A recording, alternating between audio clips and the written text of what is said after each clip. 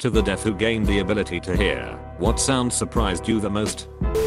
My son got his first CI when he was 18 months. Pre-CI when he would get mad he would scream this high-pitched, brain-piercing scream that was beyond awful.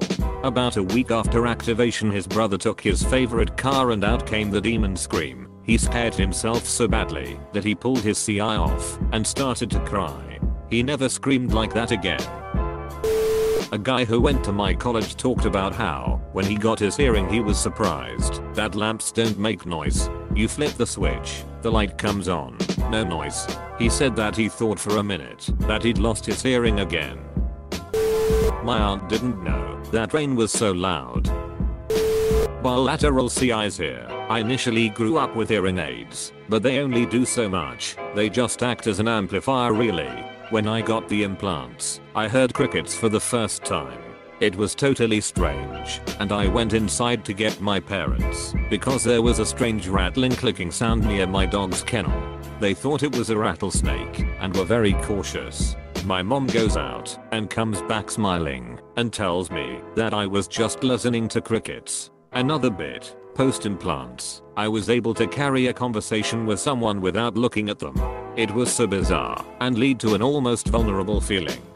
I had a coworker who was in a similar boat, I think. When she was working here the first time around, we all had to remember to look at her when we spoke and often got reminded.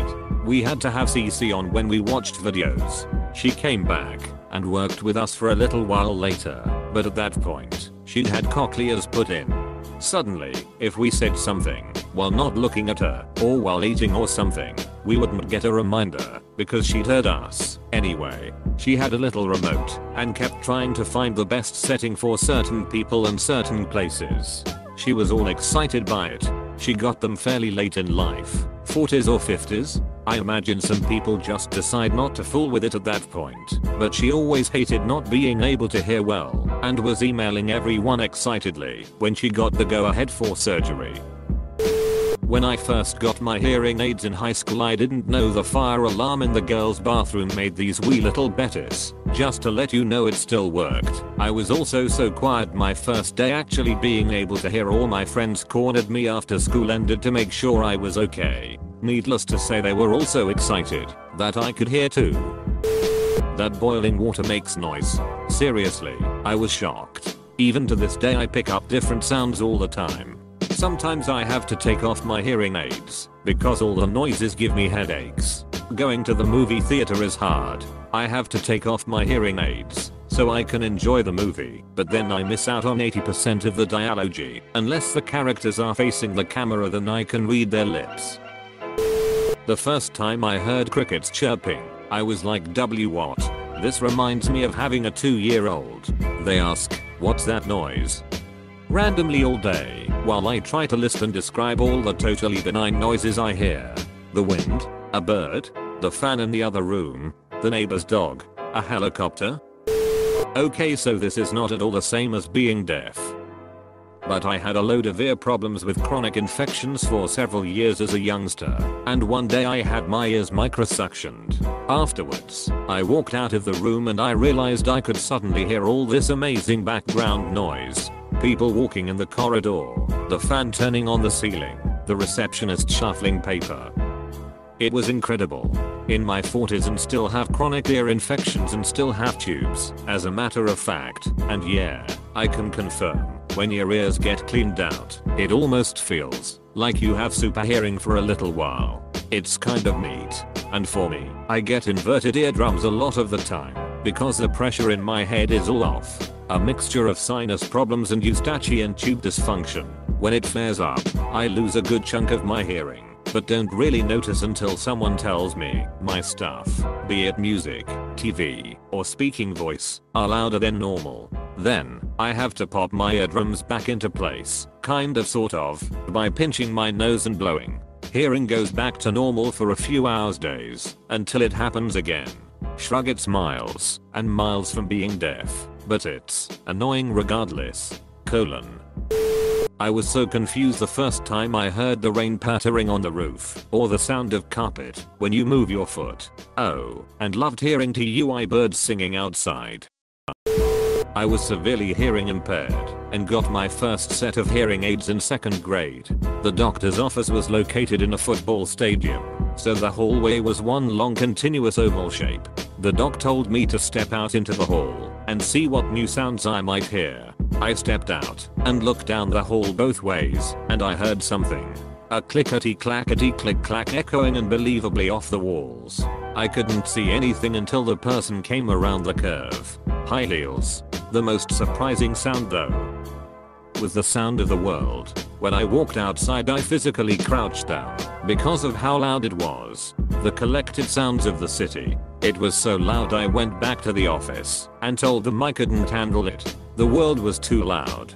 I wanted it turned down. They told me I had to get used to it so we left. Many years later I got a digital set of hearing aids and they picked up on different sounds. When I got home I went out back and my dog was looking up at something barking and wouldn't stop. So I went to see what it was. I looked up and there were about a hundred little black birds sitting on the wires and suddenly the sound came in. I was amazed. I looked up for so long it hurt my neck. The sound was one big one at first, and then I started to hear individual tweets. I couldn't believe such little things could make such big noise, and considering how loud it seemed to be I couldn't believe I hadn't heard it before. My cousin got hearing aids when he was 31 or 32 and for the most part didn't need them for day to day life. He got scarring from ear tubes when he was very little and just didn't know there were sounds he was missing his whole life. This mostly presented itself in not hearing higher ranges, like his mom, sisters and girlfriends' voices, who they just assumed he was ignoring. He actually couldn't hear them talking a lot of the time. The thing that wasn't surprising but is more annoying to him now are potato chip bags and the sound of his coat swishing as he walks. Edit. He also just told me he had no idea zippers made noise, and he was scared driving down the road because bumps were much louder, and snow crunching under shoes was the coolest thing he remembers first hearing. Interesting question. I had hearing aids since age 1 until I couldn't hear anymore by 28 after a head injury. I spent the next 5 years just resting my ears in silence and getting used to it. Then I got a cochlear implant at 33. The first thing I heard was my autistic nephew's voice, realizing how kids actually sound and not just how I thought they sounded from a lip reading perspective. The sound that surprised me the most was laughter. You can see someone laughing and lip reading, but you cannot really begin to guess what their laugh sounds like. I forgot how unique people's laughs are, and how laughter is also sort of a hearing culture aspect verbally. You aren't just seeing a smile, you are hearing a smile from across the room. All the times I couldn't hear and saw someone smiling, I realized they could have been laughing as well. I just couldn't hear it or recognize it as a communication tool of expression. My fiance has severe hearing loss. He got hearing aids for the first time in his life last year, in his 20s. One of the things he said that stuck out to me is that he didn't realize birds make this constant background noise, even when you're indoors. He also gets really flustered and asks me when there's a noise he can't identify. Sometimes it's cars going by outside or something simple, other times it's something that I can't figure out either, and he always looks slightly panicked when that's the case. But living with someone who can't hear very well has also given me a lot of insight into how lucky I am that I can unassisted, as well as how much of the world revolves around sound and the unique difficulties not being able to hear presence. Every day is an eye-opening adventure, TBH. One thing I'm sad about, though, is that I feel like he can't really enjoy music the way I do. Hearing aids aren't perfect, and I know he misses out on a lot of sounds that make some songs very pleasing or interesting to listen to. According to his reactions, a lot of music that isn't simplistic sounds screechy, and most background noises in music irritate him closely related, but I work at a board game cafe, and one of my regulars had a severely diminished sense of smell taste. When he was about 20 the doctors found that it wasn't because that bit of his brain was underdeveloped, but because there was a tiny tiny growth putting pressure on it. They easily removed it, and he went nuts trying every combination of coffee flavorings and tea for months afterwards. Weird stuff. Maple and caramel. Peppermint and coconut. A childhood friend got hearing aids at age 13 and was fascinated by all sorts of things that he found out made noise. But what totally cracked him up one day was the squeaky floorboards in his house. The idea that just walking around and having the floor squeak in random spots just had him rolling with laughter. I waited way too long to get hearing aids.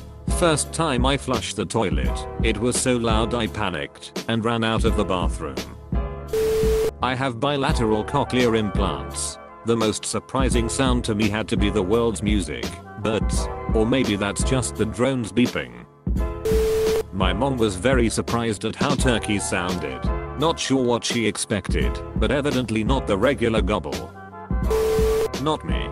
This was asked before, and a guy posted that he thought it was weird sunshine made no noise at all. He thought it would have a hum or something. Not completely deaf, but a profound loss. When I first got my aids the sound of my hair drove me nuts, and was very surprised how loud my pee was streaming into the toilet.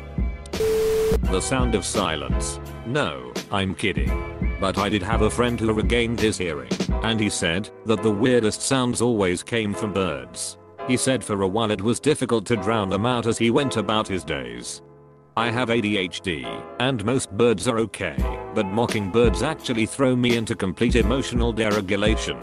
Not sure if I also have misophonia, but I've had nervous breakdowns over the noise during certain times of year. Not violent, just uncontrollable crying fits. Most days, I wish I could turn off everything but the occasional song or voice, maybe a game or two, but the noise is overwhelming.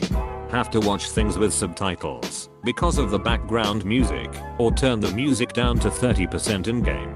Totally get it. I've had great hearing my entire life, but 94, 95% of the noise in the world is just unnecessary after you've heard it once. Edit. Wanted to share a resounding, reverberating, ear piercing thank you for all of the comments and joking around. ADHD has been a lonely, isolating experience.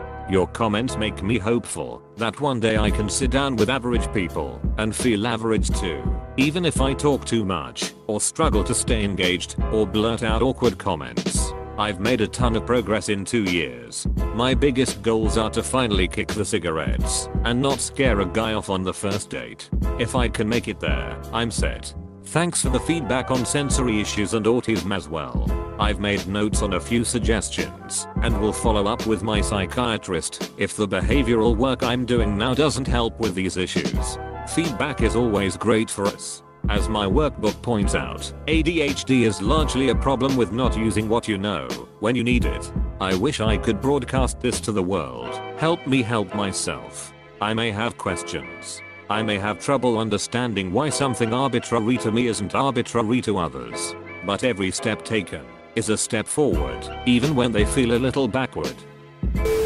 So I guess this is sort of the reverse. A person being surprised by something a sort of deaf person heard. I was born around 60% deaf and had chronic ear infections until I was 3. Around 14 months old I got tubes put in and it was then that my doctor and my parents realized I hadn't been hearing very well. Anyway, sometime after getting the tubes, my mom is futzing around the kitchen while I'm sitting on the floor playing with toys. Behind my back she makes a startling noise like dropping a pot into the sink or knocking something over. Whatever it was it made a clatter.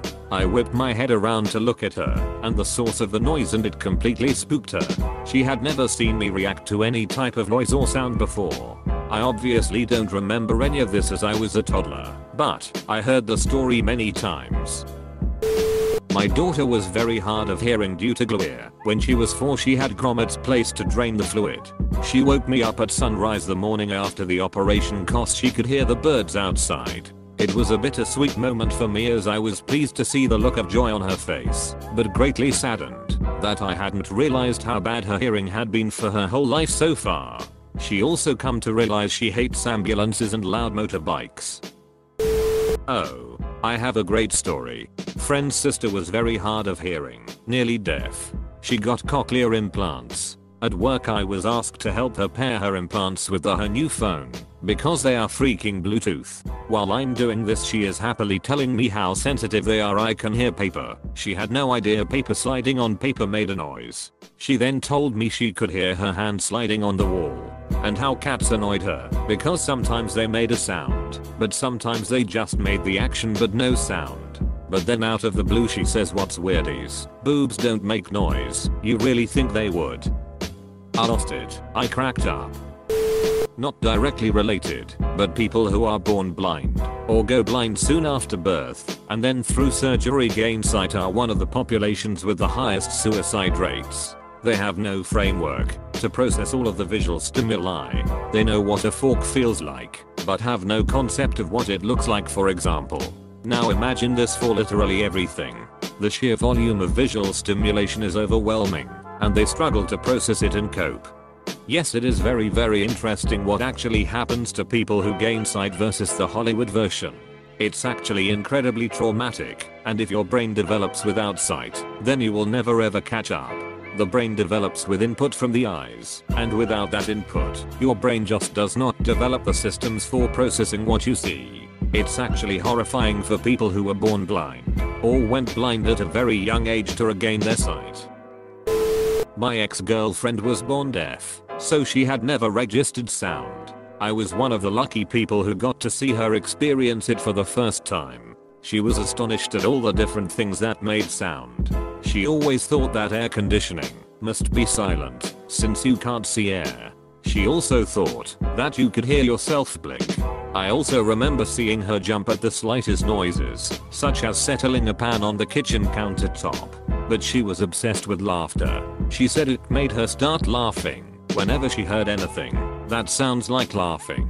She would literally tickle herself just to hear herself laugh. The reason she had for her obsession was that she never knew how unique laughter was to each person.